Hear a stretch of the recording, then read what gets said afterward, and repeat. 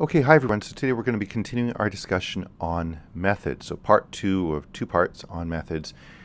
Um, and you can find a little bit more about methods in chapter six of the Beginning Java 8 Fundamentals book. There are links right here and there to the ebook in the YorkU library, accessible to YorkU students. All right, so once again, when we're talking about object-oriented programming in uh, Java and similar languages, we have a class. We will call this class C, and inside of that class, which is a blueprint for the objects that we'll be creating from that class, we can have definitions of, of blocks of code called uh, methods. And here we're referring to methods as M. So we reuse these code blocks, these methods, these basically functions um, that we're calling M, by, by instantiating or creating objects from the blueprints, from the classes. So for each method call, we would do something like this, where the object has been created from the class, and then we have a dot, and then we call the method name right there, and then we have parentheses beside it, and then there's going to be some stuff inside of the, the parentheses, the, the arguments for the um, for, for the um, for the method. Now, so object is the context object of, of type C or the class, comes from the class. M is the method defined in class C, and we are going to try and get some action to come out of the call to this method. So there would be, for instance, right here, we have a method called getOlder. You can see right here, and we have it here as well. And there's this dot right here and a dot right there. And what you find on the left-hand side of the dot is the name Jim, which is an object. And we have another uh, object called Jonathan. And so we're applying this action, get older, there and there, to each of these objects. And depending on, on who these objects are, what these objects are, the response from the action uh, call, get older, in both cases may be different. Um, um, often it is different. As well, we could have uh, two different objects called P1 and P2, and we tell it, both of these objects to move in a particular direction using the move up method, the move up function, okay? And we separate out the object name right there from the action that's supposed to be taken using that dot. So all objects of class C share the same definition of the method. So when we create the classes, the blueprints, the blueprint will be the same no matter which object was created from that blueprint. The blueprint's always the same. However, each object may have distinct attribute values. So when I, for instance, ask for how, you know, so, or say that Jim needs to get older and Jonathan needs to get older, well, if Jim was already 50 years old and then we apply this get older um, method to Jim, then Jim would become 51, for instance. But if Jonathan was, say, 60 years old and we apply the get older, then Jonathan wouldn't become 51 years old. Jonathan would become 61 years old. So the, the sort of the baseline before you you apply your method or your action could be different. Each could have distinct attribute values each object could have distinct attribute values. So applying the same definition of a method may have distinct effects. One would age, for instance, if we're talking about Jim and Jonathan, one of them would age differently to a different value than the other one would. All right. So we've also been talking about constructors. Constructors can have or are, are, have the same name as the class, all right, but they don't have any return type. They are used for initialization of the attributes of the particular objects that we're, we're creating. They're uh, called using the new keyword. So here's an example right here. We have a class called person.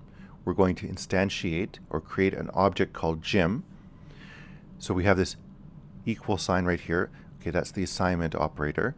And so what we're saying is we're going to create a person named Jim. Over on the right hand side, we have the constructor right here. The name of the class is right there. We use the new keyword to say we're going to be using the constructor.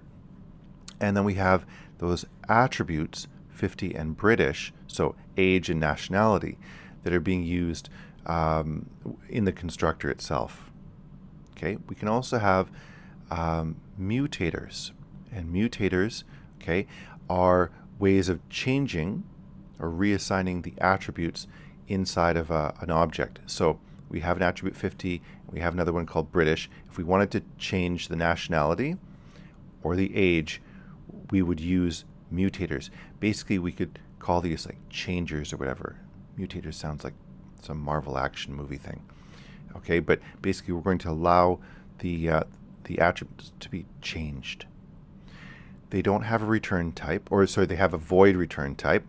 Okay, so we're not returning anything when we when we mutate uh, an object, and uh, they can't be used when a value is expected to be returned. Okay, so for instance, um, if we were to say this by itself, that'd be fine. Okay, Jim.set height uh, to 78.5 inches or centimeters or something. But if we say that we want to return something back from the method, okay, then that wouldn't be allowed because the method, the mutator, okay, remember that mutators are methods. Okay, because we're talking about methods right now. Um, if it was returning anything, that that wouldn't be that wouldn't be good. Okay, so it wouldn't really be a mutator in that case. On the other hand, accessors, okay, are a different type of of, uh, of method, and we, we use attributes for internal computations. Okay. And and generally we're not changing uh, the, the values of the attributes when we're doing that. Okay, we, that's not what's supposed to be. We're just supposed to access the attributes. Okay, make some some calculations and then return something back. So we uh, we have return types. Okay, so in this case up here you saw return. Okay, so we wanted to return something from the method. Okay, so so typically, basically, if you're going to use an accessor, it means that you don't want to have a void return value, you which is nothing. You want to have something substantial be, being returned. Okay, so you have an explicit return statement, typically at the end of the method, although it doesn't have to be. There are, there are example cases or usage cases where you wouldn't have it at the end. You'd have it somewhere in between or in the middle. And it will return the computation result to um, for the, the method being used, okay, for the accessor method being used. So for instance, uh, and, and typically you, you know that you're using an accessor because in Java you'll often see that the name of the method starts with the word get. Okay, so here we're saying that we have an object called Jim. There's the dot right there, your dot notation. We say we want to get the body mass index. Um, and so, so you say get BMI and it will return a BMI value. BMI itself is not one of the attributes, okay, uh, of the uh, uh, of the object, okay, but it will be made up of the attributes, okay. The calculations inside will be will be run. Well, it wouldn't be British. It would be sort of um, it'd be the the mass and the height of the of the person. Um, would be used to get the BMI, and we return it after calculation for BMI. Okay. You also see it when, um, for instance, if you have a print line or a system.out.println, and then in the parentheses like this, you do object dot and the method, and that will be printed. Okay, like that. So you can use them sort of in a case like this, but you can also use them inside of the arguments for for other uh, for other um, methods. All right, so the dot notation is a binary operator. It's found uh, in the middle of two things. On the left-hand side of the dot will be an object. On the right-hand side will be an attribute or a method. So, given a variable of some reference type that isn't null, we use the dot to retrieve, say, attributes. So it's analogous to the um, to this symbol right here. Okay, so basically that sort of single quote right there. And so if you say um, so, you say Michael's um, hair color. Okay, that'd be sort of like saying Michael dot get hair color. Okay, and then it would say red, for instance, okay? So Michael's hair color is red. That's, that's oops, we should have put a pair of parentheses right, right there. All right, so for instance, if we said Jim dot nationality, basically it would be Jim's nationality. It's the same as if you'd said that in English. We use a dot to, so you don't actually put that single quote right there, okay? Um, you don't put that in, um, in, in Java.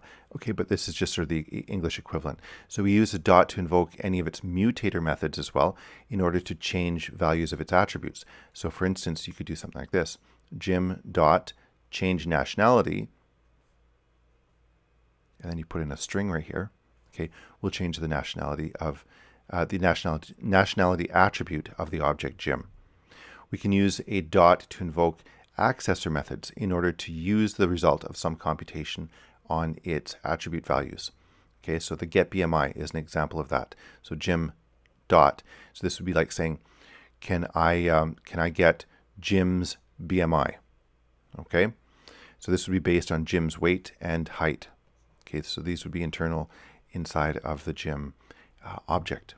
Okay, and then we can return values of an accessor method, and these are stored inside of a variable uh, on the left-hand side of a, uh, an equal sign or an uh, assignment operator. Okay, so you could do it like this as well. Double Jim BMI is equal to Jim dot get BMI. And then we put a semicolon right there. All right, so, so here's some examples right here. So we got point P1, uh, new point 3.4, like that. We have system out.println like that. P1 get distance from origin right there. There's a method right there. Here's another method right here, p1 dot move up to. Okay, you can see that, and p2 like that. System dot out dot print line, and then we have an object right here and a method right there inside of the parentheses like that. So these two right here create two different instances of point. So that's the class, that's the class. P1 is an object, P2 is an object. We have new, meaning we we're using a constructor. And then we have point three four, point negative 6, negative 8. Okay, so that's the constructor call right there. That's the constructor call right there. It will construct an object P1. It will construct an object P2. Okay, with the at with, with values. Okay, uh, for the def sorry for the definition of P1 and P2 of 3 and 4 there and negative 6 and negative 8. These would be like the x and y locations of P1 and P2. Okay, that's inside of the constructor right there to initialize P1 and P2. Lines 3 and 4, we're invoking the same accessor method on two different instances, and we're going to return distinct values. So here we're going to be printing stuff out. So we're going to use the system.out.println right there and there. We're going to be calling on P1 object and P2 object, and we're going to be asking for the distance from origin say right after the, the construction using the constructor, okay? So we'd be able to get those values and print them out immediately. And very likely, well, as you can see right here, 3 and 4, negative 6, negative 8, the, um, the, the values for get distance from origin will be distinct for these two different objects. But they don't have to be, but often they are. Lines 5 and 6, we're invoking the same mutator. Okay, so we were doing accessors before, now we're doing mutators, so we're going to change things. So we're going to mutate, we're going to change on two different instances. Um, and so here we've got P1 and P2, so two different objects. We're going to move P1 up by a value of 2. We're going to move P2 up by about, about value of 2 right there. But because we started at two different positions of x and y, the end result for P1 and P2 will be different in this case. So generally speaking, um, when, when you modify an object using, or two different objects using the same method call, like that, the end result will be different for both of these objects. So they really work independently of one another. Lines 3 and 7, there and there. We're accessing the same uh, accessor method on the same instance. Let's see, here we go. But they may return distinct values. Okay, so yeah, actually right here we do. So we've got system out println p1, system dot uh, println p1 asking for the get distance from origin. Well, if we set up this sequence right here, and what we had right here was, uh, let's see, we did p1, we had a constructor right here. Then afterwards we printed out the value. We would get some distance from origin based on squaring 3 and squaring 4 and doing the square root of that.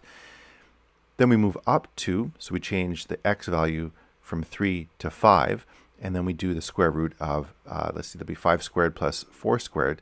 The printed value right here would be very likely different. Well, if the, the calculations were different, so if we did uh, for the distance here in this case, and the distance right here, square root of 5 squared plus 4 squared, in that case, we would have distinct values, okay? All right, and there you go. So another discussion about methods.